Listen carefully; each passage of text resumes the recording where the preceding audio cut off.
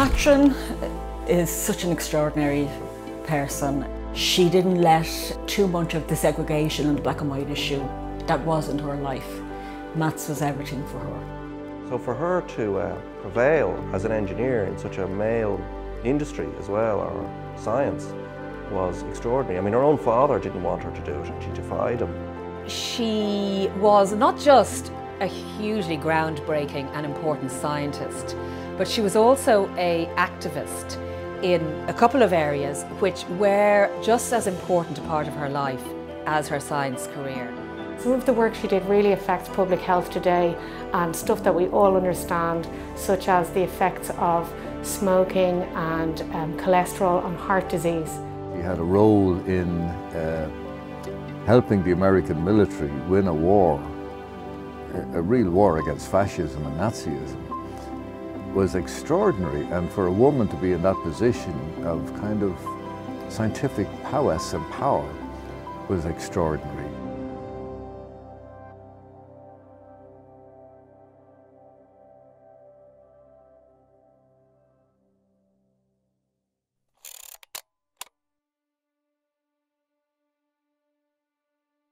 She was a teacher, uh, mathematical teacher, and then she had her family and she stayed at home and reared her family. And it wasn't until her 40s that she heard of the opportunity in NASA looking for what they call female computers. At this time, she was also a widow rearing three daughters, so she had a lot on her, on her hands. So she got the job, she went into the, the black female computing wing and she was there a week and one of the engineers came and said I need uh, some people to help with this particular project and Katherine was chosen. Basically was she was, she was meant to be on loan, she was meant to be just for a short amount of time to get what they needed done and then she would go back to the female computing wing but she never went back, they kept her. A woman like Kay McNulty, right, she's all smiles. I'd know from looking at her you don't mess with her. Do you know what I mean? She has very bright, vivacious eyes and they're kind eyes. My mother didn't take nonsense, didn't take prisoners, you know what I mean? And I'd say she's the same. If she had to get a job done triangulating where the enemy was and calculating the speed of a shell, because that was one of her jobs, I wouldn't like to be at the other end of it, put it that way. Marie Maynard Daly has done some amazing work. First of all, she's quite well known as the first African American woman to get a PhD in chemistry.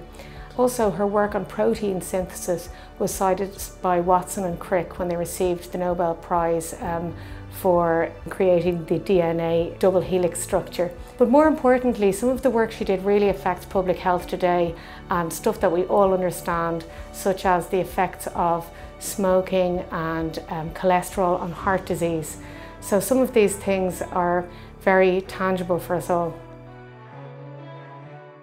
What I found most interesting about Kathleen Lonsdale was that she was not just a hugely groundbreaking and important scientist, but she was also a activist.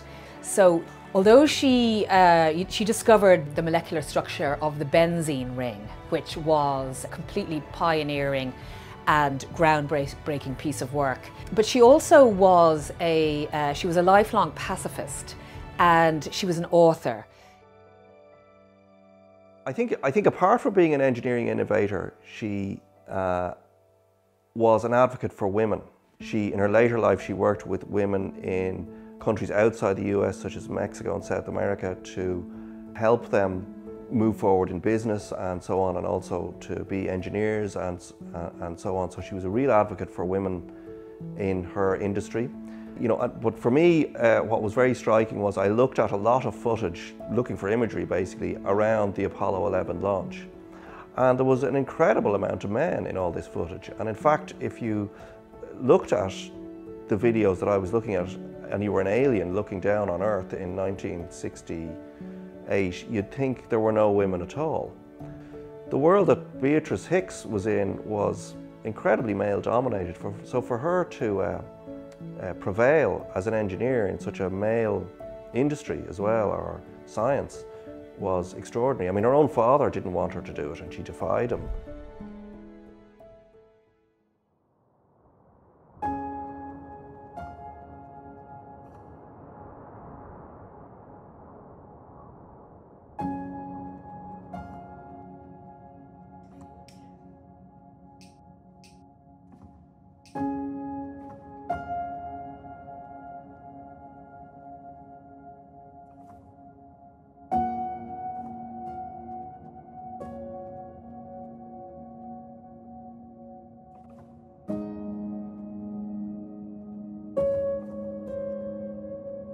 The fact that I could, uh, you know, learn about the subject, Kay McNulty, the fact that I could talk to her daughter Ginny, it all made it an interesting process, you know. But the most important thing is, it's getting back to the original purpose of all this. It's to bring outstanding women who we've not heard about to the fore. You know, I only heard about Kay McNulty two years ago. I think it's really important for future generations to be able to see that the important people we hang on walls don't all look the same. That there's a variety of people who've made great achievements and who've contributed to the knowledge we have today. I think it's really important for young people, uh, boys and girls, to see role models that are female, um, and particularly uh, women of colour. As an artist, it is a major opportunity to produce a, a, uh, you know an important piece of work that will be hanging in a collection that will create its own legacy. It's like you could kind of I mean part of me starts getting really angry about it but on the other hand like I'm just so happy to be part of the solution and you know, there's just such a, an, an, impetus now going forward that this situation is not going to arise again. You know, jumping way ahead here, but that students, women and girls, will see that their gender is getting those accolades, being, you know, honoured and uh, hung in the in these national collections.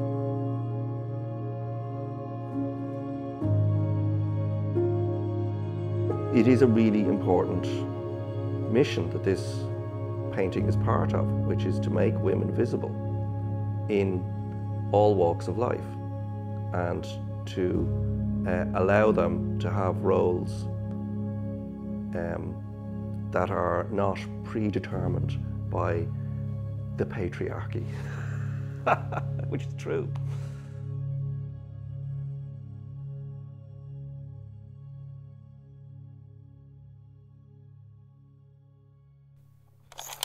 So luckily for me, I wasn't too adversely affected by the pandemic. I wanted to make this painting accessible and fresh and something that would be understood by young students in DCU. And so I thought that the setting of the lab would be appropriate for Marie Maynard Daly, but also for the setting where the painting is intended for.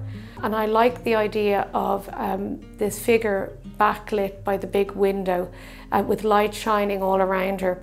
I wanted uh, this to sort of symbolise her general openness and generosity and how she made a legacy for students who came after her.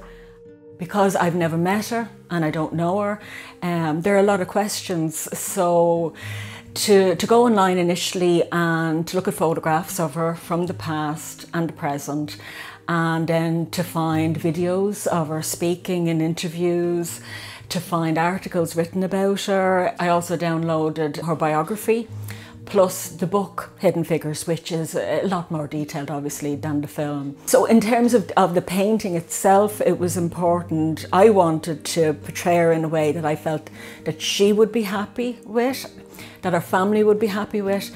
So, everything in the painting, from her clothing, her stance, um, and the background, came from the research. Um, in the fact of her being a, a mathematician, using the golden ratio in the background and one of the equations that she had written, um, which I took from the film. You know, the painting does what I intended it to do. It makes her look really strong and powerful. It also means that when somebody looks at this painting or sees this painting, they go, what are they all looking at? That's what they're going to think. They're going to think, well, what, where are all these people looking? And then they're going to go, who is she? what, what is she doing? So I think it'll draw people into it and they'll come over and they'll go, you know, what is, what's this about? Because there's a whole lot of unanswered questions in, you know, the narrative of what's going on in this image. Uh, why are they all holding binoculars? Where are they looking? What's going on? I wanted it to look like a real room in a real place. And uh, so I referring to, I'm referencing furniture of the time and an interior that is alluding to University College London, where she was a professor. When I thought I was finished, I thought, It was just a bit flat, so out it went on the balcony again. More painting thrown at it, more texture. And then I thought, now it looks good. But geez, I nearly had to start again, bringing up all the lines again. But I could see them underneath. I left enough so I could see. So that brought me up to the point where I had all the linear work finished.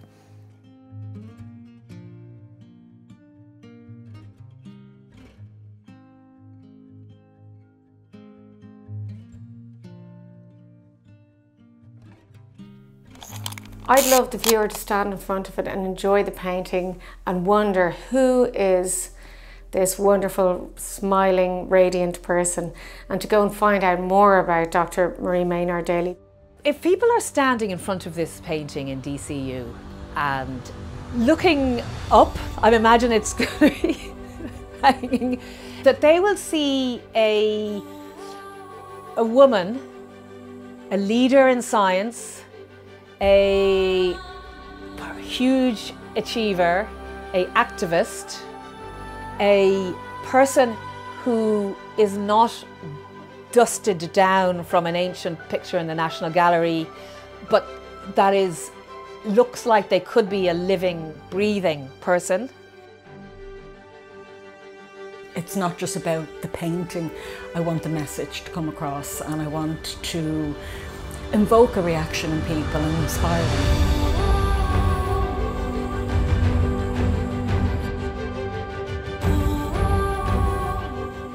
So what I hope with this painting is that when somebody sees it, they go, who is that? What are they doing? What are all those people looking at?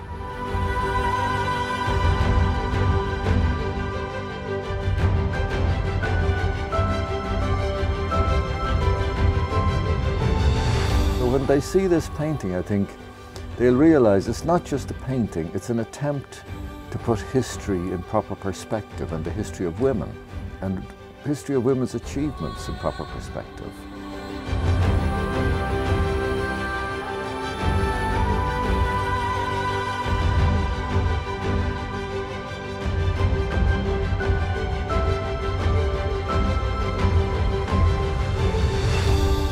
That's the point of Women on Walls. We need to find out about the people who have been absent from our walls up to now.